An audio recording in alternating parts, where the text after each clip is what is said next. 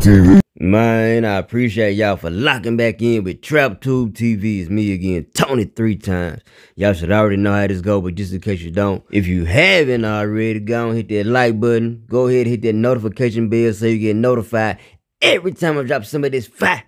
And go ahead and subscribe if you don't mind, you feel me? Alright, so your boy 42 Dugg and Peas go back since like 42 Dugg was like in elementary school or something, you feel me? Cause 42 Dugg came up under Peezy people Cause 42 Dub people is Peezy's people, you feel me? I'm talking about them boys really been putting on for Detroit, Michigan, you feel me?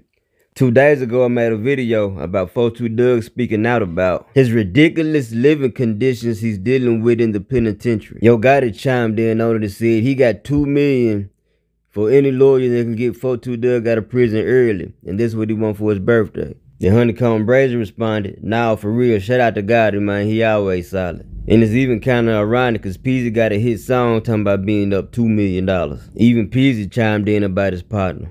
42 Dub was like, they raided my shit last night, man, at 3 a.m. They taking me to war, I need Johnnie Cochran. Then Peezy responded, free my little shorty, man, they ain't there playing with him while he locked up. I mean, promise you this shit ain't the same. Promise you this the same.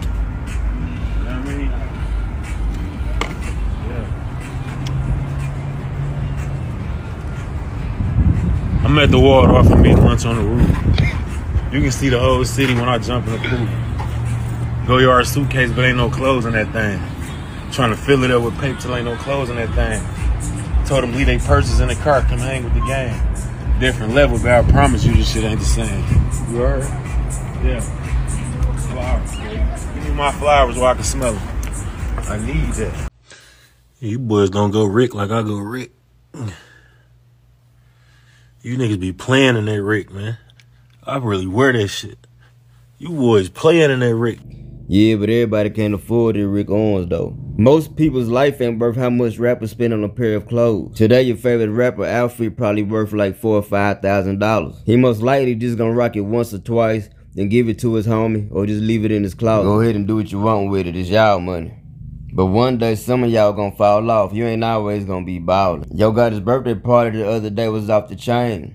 Angela Simmons bought him a Tesla, and his partner bought him a chain.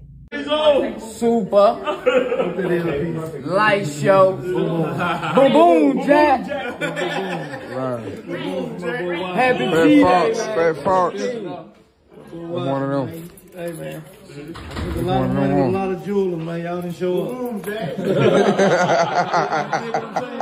I had to make it look juicy for 'em. Trap Tube TV.